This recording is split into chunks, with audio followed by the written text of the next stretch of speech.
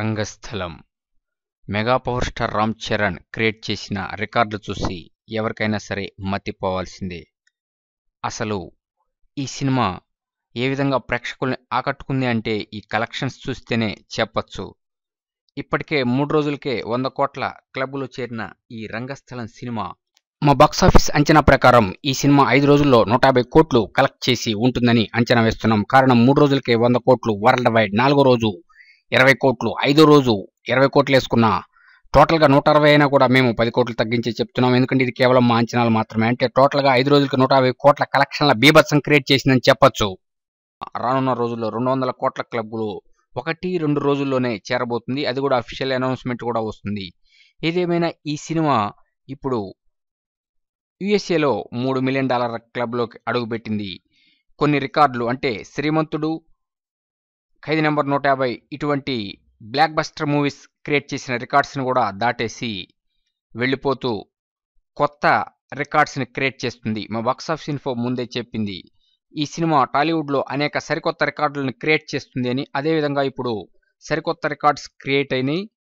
ఆ రికార్డ్స్ని రాబో సినిమాలు ఏ విధంగా అధిగమిస్తాయి అనేది చూడాల్సిందే. ఇప్పటికే ఈ సినిమా ఓవర్సీస్లో మూడు మిలియన్ డాలర్ల క్లబ్లో చేరిపోయింది. ఇక ఇండియాలో వచ్చేటప్పటికి మూడు రోజులకే వంద కోట్లను అఫీషియల్గా ప్రకటించారు. కానీ రానున్న రెండు మూడు రోజుల్లోనే ఇదే విధంగా విపరీతమైన సునామీ లాంటి కలెక్షన్స్ క్రియేట్ చేయబోతుంది అనేది వాస్తవం. ఇక ఈ సినిమా రెండు వందల కోట్ల క్లబ్లో చేరటం అనేది చాలా సింపుల్ విషయం అని అంటున్నారు. ఇదేమైనా ఇటువంటి బ్లాక్ బస్టర్ మూవీ జనాల హృదయాలకు హత్తుకుంది. ఇన్నాళ్ళు తెలుగు ఇండస్ట్రీ ఇటువంటి బ్లాక్ బస్టర్ హిట్ లేక అంటే శ్రీమంతుడు. ఖైదీ నెంబర్ నూట యాభై. గౌతమిపుత్ర శాతకర్ణి.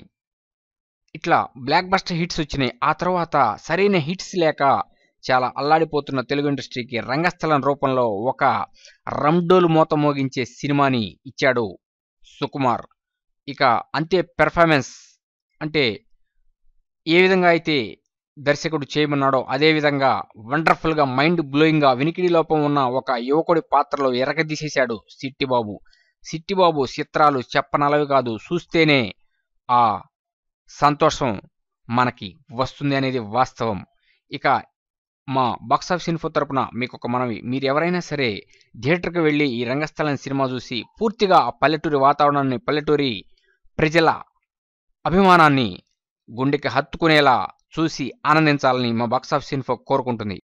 ఇక త్వరలోనే రంగస్థలం నాన్ బాహుబలి రికార్డ్స్లో మొదటి ప్లేస్లోకి రాబోతుందనేది వాస్తవం. అటు ఓవర్సీస్లో ఇండియాలో Karnataka Tamil Nadu Australia total all time world blockbuster అవటంతో ఇప్పుడు మెగా కాంపౌండ్ సంతోషానికి అవధులు లేకుండా పోయింది. ఇక ఫ్యాన్స్ కూడా కరువు తీరా ఈ సినిమాని చూసి ఆనందిస్తున్నారు. అటు ప్రేక్షకులు టోటల్గా యావత్ ప్రపంచం ఫిదా అయిపోయింది రంగస్థలం దెబ్బకి.